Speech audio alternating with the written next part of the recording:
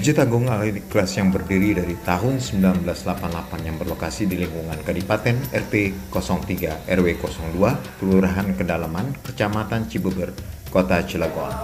Setiap momen bulan suci Ramadan, tiap tahun selalu melakukan kegiatan keagamaan seperti terawih, itikaf, kajian, tadarus, dan kuliah subuh. Bahkan Masjid Agung Al-Ikhlas yang bangunannya unik berbeda dengan bangunan masjid pada umumnya memiliki kolam atau sumber air yang kabarnya tidak pernah kering walaupun musim kemarau panjang. Menarik bukan sahabat Tugas TV? Simak Pak Blangkon Tugas TV ngabuburit 1444 Hijriah di Masjid Agung Al-Ikhlas.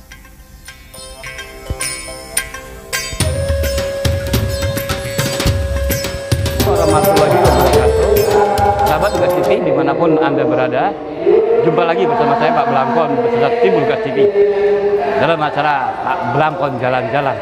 Kali ini Pak Belangkon sedang mengunjungi salah satu masjid di uh, kota Cilegon. Nah, Kalau nggak salah Masjid Agung Al-Ikhlas Yang katanya di sini ada uh, sumber yang atau air yang nggak pernah kering. Supaya nggak penasaran mari kita tanyakan langsung kepada BKM di sini. Nah, selamat sore dengan bapak saya bapak Haji Nurudin. Pak Haji Nurudin. Saya Pak Belangkon dan ke sini artinya sudah sekian kali lah kami jumpa dengan Pak Haji ya. Pak, Pak Haji Mat Peci. Kali ini Pak Belangkon dengan tim silaturahmi jalan-jalan ke masjid bapak ini yang katanya di sini ada kolam yang nggak pernah kering. Bisa dijelaskan Pak Adi atau Pak uh, uh, ke sahabat tugas ini? Selamat sore untuk Bogas TV. Mudah-mudahan di mana pun saja berada, mudah-mudahan tetap siap, tegas, dan sukses. Perlu diketahui bersama bahwa memang di Masjid Agung Raja ini ada dua sumber, dua sumber yang nggak pernah kering, yaitu dari dulu sebelum saya lahir sudah ada. Karena memang di sini Masjid Agung Alas ini adalah masjid silsilah. Masjid yang boleh dikatakan masjid perjuangan. Nah masjid berdiri sebelum uh, sebelum merdeka sebelum uh, Indonesia ini merdeka. Dan didirikan tahunnya kita juga nggak tahu tapi yang jelas tahun 1938 masjid sudah berdiri. Kalau menurut dari uh, dari silsilah bahwa masjid ini dulu masjid berjuang untuk kemerdekaan. Makanya di sini meninggalkan titik karena di sini tempat kumpulnya pejuang-pejuang tangguh dari berbagai wilayah berkumpul di Masjid Agung ini untuk memperjuangkan kemerdekaan Republik Indonesia. Dan di sini juga di kolom ini apa namanya ada uh, sub, dua sumber yang nggak pernah kering dan sumber ini uh, dipercaya bahwa ini juga sumber air keramat dan sudah banyak yang boleh dikatakan uh, menikmati atau mengambil daripada uh, air ini seperti itu Pak. Ya. Pak Haji, jadi yang dibilang keramat air keramat nggak pernah kering ya ini ya? Betul Pak, betul. Pak Haji itu di masjid depan kalau nggak salah ada tulisan 1888. Nah itu pada saat itu ada perbaikan atau rehab. Ada rehab. Yang ke, ke berapa kalinya lah kan seperti itu. Dan kalau memang berdirinya masjid ini tahun 1938 pun sudah berdiri. Oh, 1938. Sudah berdiri. Sudah berdiri. Sudah berdiri. Dan adapun berdirinya sih kalau menurut dari leluhur ya dari orang tua itu dulu sebelum berdirinya Masjid Banten. Jadi ini dulu berjuang untuk Banten dan kemerdekaan. Singkatnya masjid ini adalah saksi yang dulu tempat pejuang-pejuang. Betul Pak. Dulu memang para leluhur, para orang-orang pinter berjuang untuk Banten dan kemerdekaan Republik Indonesia berkumpul di Masjid Al ini makanya meninggalkanlah titik sumber dua sumber di sini dan ini manfaatnya juga luar biasa dan sudah banyak buktinya kan seperti Gitu Pak Haji ya? betul Pak Oke. Artinya Pak Haji, maaf nih kalau ada yang ke sini minta air ke bawa pulang air, boleh-boleh saja nggak nggak dikenakan biaya Pak Haji. oh nggak ada Nggak ada, bebas dan ini juga kebetulan dari berbagai wilayah sudah banyak mengambil air keramat ini air sumber ini Ya. itu dari ulama gitu banyak yang mengambil suasana.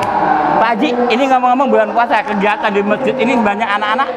Apa nih kegiatan setiap harinya bagaimana? Bisa dijelaskan Pak? Nah ini kegiatan bulan suci bulan Ramadan udah dari turun temurun ya dari Mhm. dulu yaitu tadi eh, kegiatan menjelang buka puasa yaitu gelak ilang. Nah setelah gelak ilang buka puasa, sholat maghrib, langsung juga setelah itu sholat terawih dan langsung tadarsuan sampai pagi Sampai pagi. sampai pagi kegiatan itu rutin setiap tahun. Terus Pak Haji, maaf, ini saya lihat banyak makanan-makanan, snack-snack itu bagaimana Pak Haji? Disediakan atau bagaimana? Atau Dan memang itu warga masyarakat menyediakan itu untuk berbuka puasa bersama. Oh, oke. Ah, berbuka- Dari masyarakat untuk masyarakat. dari masyarakat oleh masyarakat juga untuk masyarakat. Sini.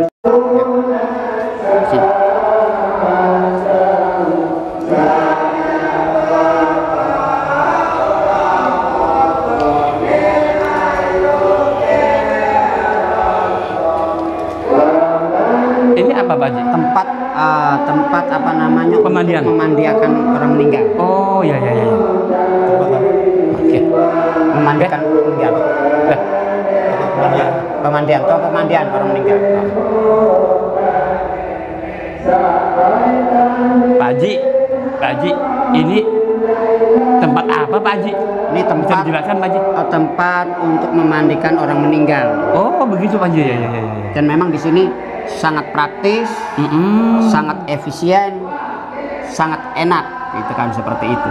Terus airnya juga air dari situ bisa Pak? Airnya kita ngambil air dari dari sumber lain, Sumber lain, dari ya. eh, apa nama pam, dari pam, Iya, iya, dari iya, iya. apa namanya sumur, itu sumber Ah, ah. lain. Ah, ah, ah, ah.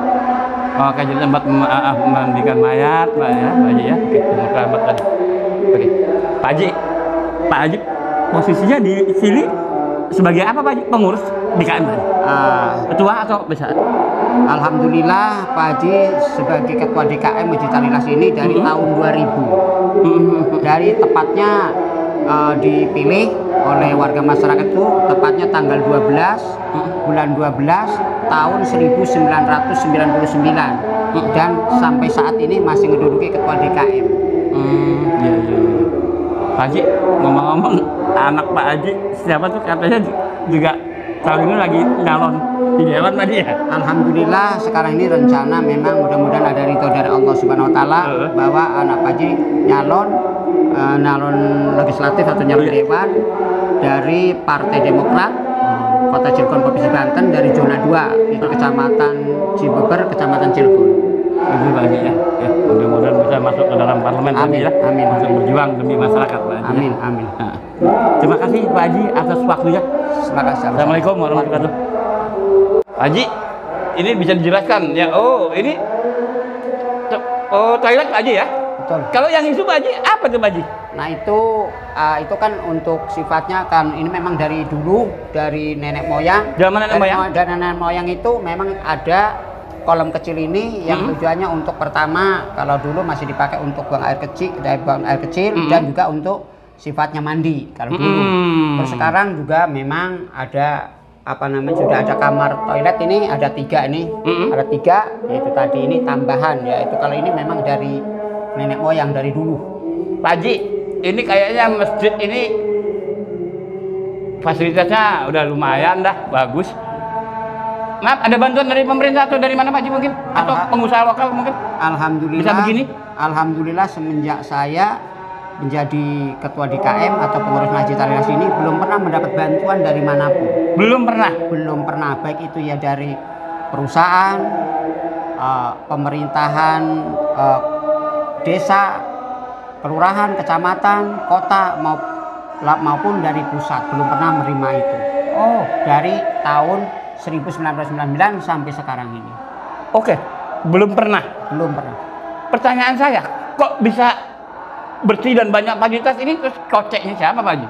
Alhamdulillah ini memang biaya ini mayoritas itu biaya sendiri. Biaya sendiri dan selebihnya memang ada bantuan dari kota amal. Oh, kota amal. Kota amal. Iya, Dari dari pribadi Iya, dan ter- terbantu oleh kota amal. iya, iya, iya. iya. Gitu. Sebenarnya kalau dibantu dari pemerintah, mau nggak sih Pak Haji? Andai kan ada. Ya kalau memang diberi oleh siapa pun pasti diterima. Pasti diterima kalau memang ada Pak. Kalau ya. memang ada memberi pasti diterima. Oke. Namun kalau untuk meminta, mohon maaf saya nggak minta. Untuk minta mohon maaf. Nggak minta karena memang ini masjid. Masjid itu adalah rumah Allah, tempat suci, tempat ibadah. Jadi eh, kayaknya kalau untuk meminta itu kurang baik. Itu sama dengan dengan mengemis. Nah, kalau untuk Masjid Alilas ini kalau memang diberi siapa pun juga kalau memang diberi itu diterima. Tapi kalau untuk meminta tentunya enggak. Ya. Terima kasih Pak Haji atas waktunya Pak Haji. Sahabat Tugas TV di mana pun Anda berada, sudah kita dengar sama-sama perbincangan dengan Pak Haji. Pak Haji Mateci. Sahabat Tugas TV, wah luar biasa. Ini masjid sangat, ya ada tempat air keramat, penuh perjuangan. Dulunya tempat para pejuang kumpul. Dan yang menarik masjid ini sekarang udah bagus, tapi nggak pernah ada bantuan. Kita dengar sama-sama. Tapi faktanya bisa bagus. Dari kota aman. Apalagi punya prinsip pengurus DKM. Jangan minta-minta. Kalau diberi, baru. Ya, luar biasa. Sampai jumpa di season yang akan datang.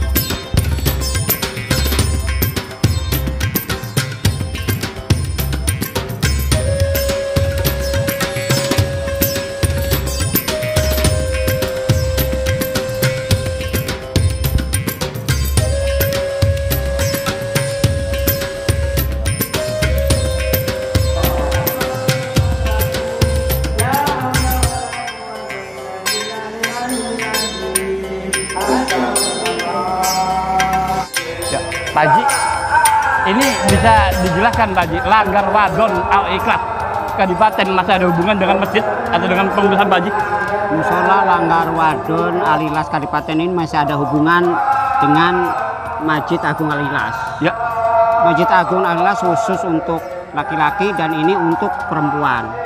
Dan baru kemarin ini baru kemarin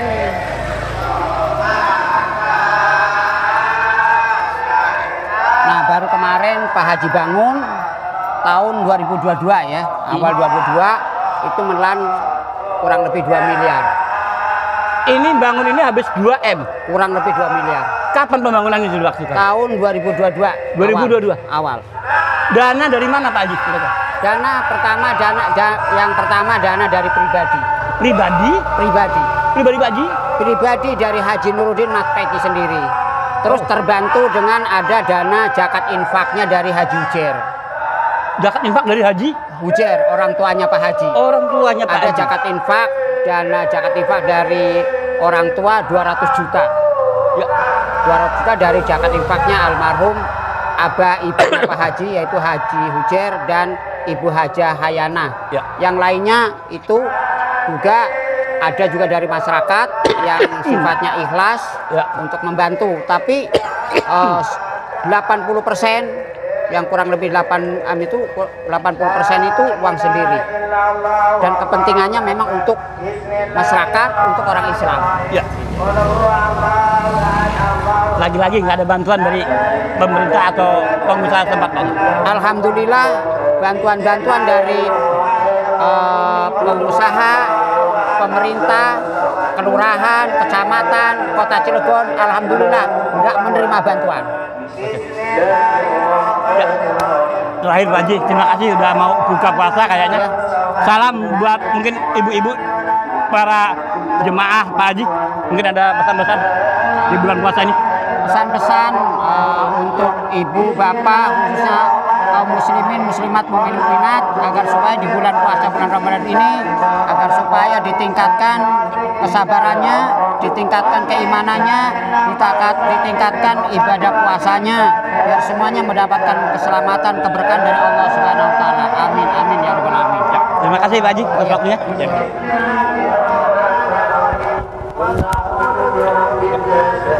Nah, biar dalam nggak apa-apa.